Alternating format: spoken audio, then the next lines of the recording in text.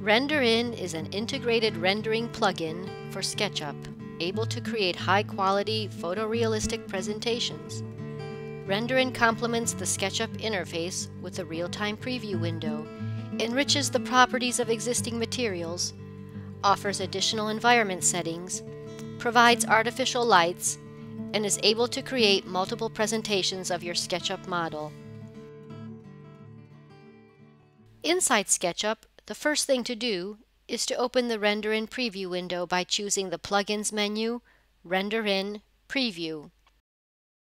The Render In window refreshes the SketchUp scene and displays it in full radiosity. This photorealistic image within the 3D Preview window is an accurate representation of materials and light behaviors in the set conditions. Consistent with the final rendering, it offers you excellent feedback of the high quality images you'll produce from your 3D model. Continuing our work in SketchUp, the preview automatically refreshes whenever we change the camera position, for example, or zoom in and zoom out of a scene, or move any component in SketchUp. Here is this glass. I grab it and move it to another place. The RenderIn Preview window follows my steps and highlights the changes instantly. You may notice that shadows are present in the Render in Preview window while this information is missing in SketchUp. The shadows are not activated in the SketchUp window. However, the Render in Preview will display them with the same settings from the SketchUp dialog box. By changing any of the parameters of the date and time, the Render in Preview will also change. Adjusting the north or setting the exact geographical location of the 3D model will also affect the light conditions of the preview window and will automatically refresh the image. The RenderIn Preview window can also highlight some background information of SketchUp. If we modify the color of the ground in the Styles dialog box of SketchUp, the new color will automatically be shown by the RenderIn Preview. The same happens for the sky. The changes are highlighted in real time by the preview. SketchUp scenes are considered independent camera positions by RenderIn. Moving from one scene to another means an instant and very fast update of the model in a fully photorealistic environment. Moving on to the next chapter about materials, I'll get closer to some walls and change the finishing on them. New materials should be applied the way you generally proceed in SketchUp. Open the Material palette, select a material such as this brick, and click on the surface you want to apply it to.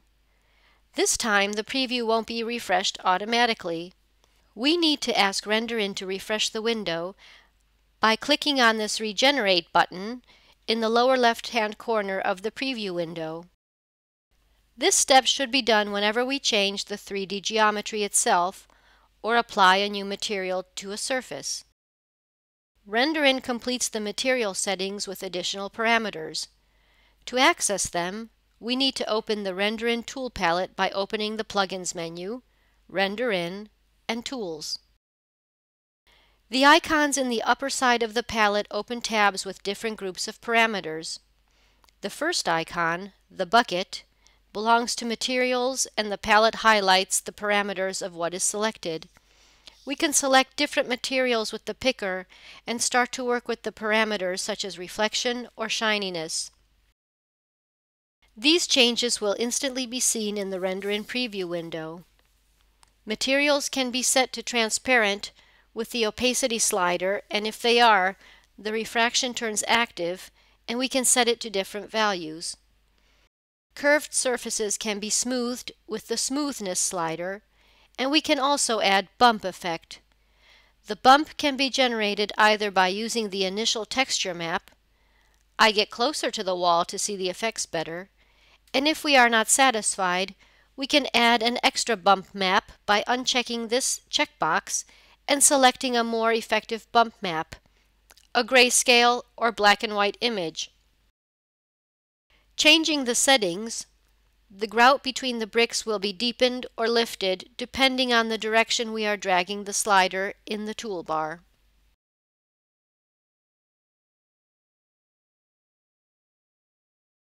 The next topic is about environment.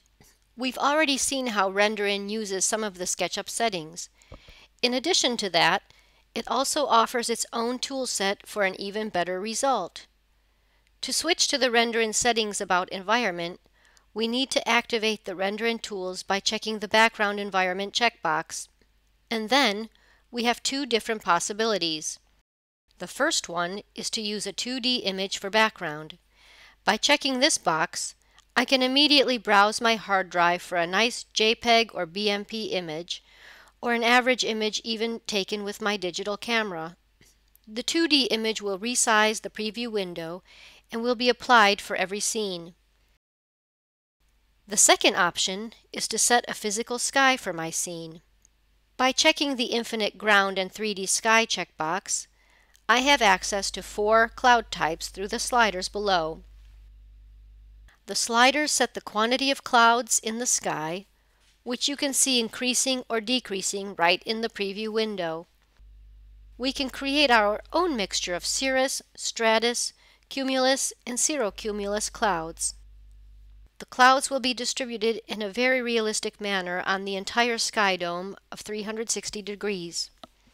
Therefore, this excellent background can be used not only for still image renderings, but for animated presentations as well. To complete this physical sky, we can select among four different finishings for the infinite ground to complete the model.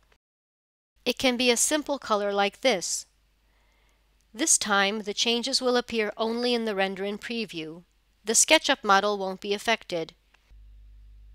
Other finishings for this ground can be composed of different texture maps such as sand or water. I just turned the camera around to show you how realistic this surface is in the preview window. It's a very nice, high-quality material with great reflections and transparencies. In the meantime, I notice that I have to lift this infinite ground just a little bit. I can do that by changing its altitude. Just getting back to the previous camera position, there is a fourth option for this ground, a texture simulating grass. These are the RenderIn settings completing the environment in a very realistic manner. Now it's time to talk about lights. I open the tab with lights in the RenderIn toolbar and select an interior scene which is still completely dark. So I need to turn on some lights and light this room. Any component can function as a light. I selected this lamp component in SketchUp and in the RenderIn toolbar I turn it on. For lights we can adjust the power or change the color. Every modification will instantly appear in the preview window. This component was converted into a bulb for which we cannot edit the angle. That's the reason why the angle slider is gray. Lamps can be added to shadow casting with one click, and this shadow can be smoothed. We have a second component in our scene which can be turned on, and here it is. Before activating it as a lamp, let me go closer to see what is really emitting from such a component. Inside the lamp you see a little plan that was transformed into a light source with the render in, Lights Create Lights command. Plans will act as spotlights, while shapes will turn into bulbs with the same command. I turn it on in the toolbar so I can start to set its parameters. Just move the camera back to its initial position for better visibility, and now we can clearly see how the angle changes for this spot by assigning different values to it.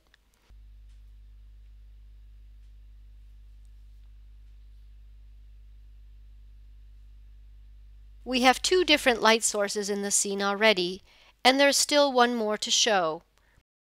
We can transform this sign into a neon light, but how? The sign wasn't saved as a component. However, it's still possible.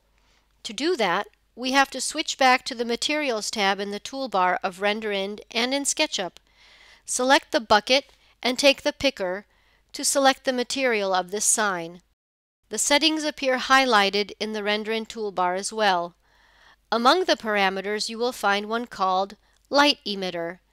This can transform any material composed of simple colors into a neon surface emitting light. The same slider will adjust the power of the emission. Our interior is now ready. We may need to make a last adjustment of the light sources, perhaps change the power or other parameter to get a nice scene lit by three different light sources offered by Render-In, bulb, spotlight, and neon light.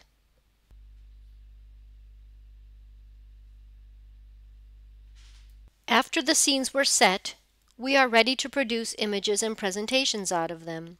However, we still have the possibility to continue with the settings. In Artlantis, given that Render-In is powered by Artlantis, it is able to transfer all the existing settings regarding materials, environment, lights, or camera positions right into Artlantis.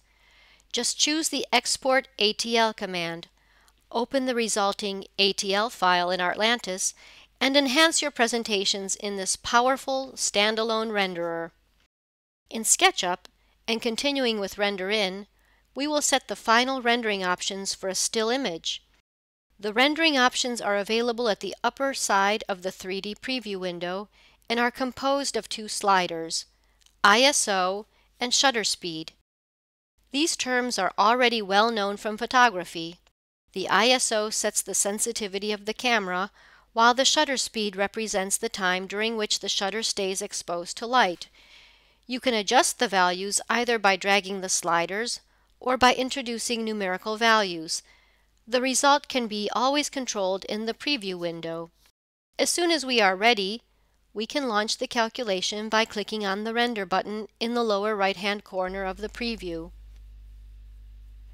The dialog asks us for a name and location of the future rendering, and we also need to choose an output format for it. We can choose from the most common image formats such as JPEG, BMP, PNG, and TGA. The scene can also be calculated in Photoshop format, giving access to basic layering. This is the option to choose whenever you wish to make further adjustments in this photo editor. The last format belongs to a different presentation mode. It's called panoramas.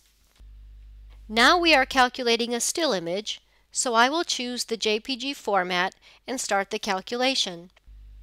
The process is automatically launched and you can follow it in the preview window.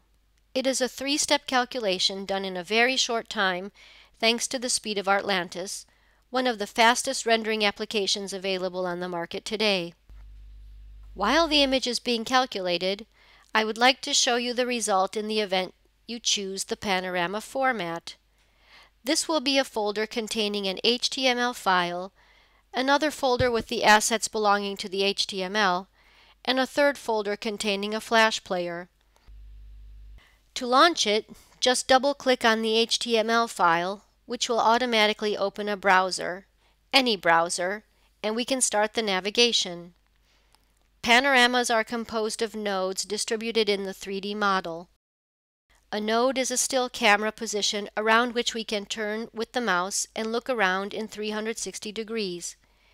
As I navigate around this node, we can see the sky dome set with those beautiful clouds. They were distributed in a natural way, creating a very realistic physical sky. While navigating, some links may appear and they will lead us to another camera position. Once there, we can continue to navigate the same as before. Nodes can also be chosen from the drawer below. Each scene of our SketchUp file was converted into such nodes in fact. This is how we can control their position. The Panorama folder contains everything we need to start the navigation. It can easily be shared by sending it in an email or putting it on a server. It can also be added to your website. Panoramas can easily be viewed in any browser supporting Flash technology. To show such a panorama on an iPhone or iPad, download the iVisit 3D app onto your mobile device and convert the panorama folder with iVisit Builder into a format this app can read. Now back to SketchUp. The still image calculation is finished. It's worth comparing the final render with the quality of the preview window. You will notice a surprising similarity between the two. Yes, as we said before, The preview image is consistent with the final rendering, and you can securely rely on what you see in RenderIn's preview window. Preparing a rendering is fun with such excellent and instant feedback. Check out the website and see what other users have done using RenderIn. Below the Community tab, you will find the image gallery filled with fantastic examples of RenderIn at work. You may also want to see nice panoramas, right? Continue along to the iVisit 3D gallery and navigate inside beautifully rendered 3D models. Browse the entire site, join the forums, and share your experience. Have fun and enjoy your work with RenderIn.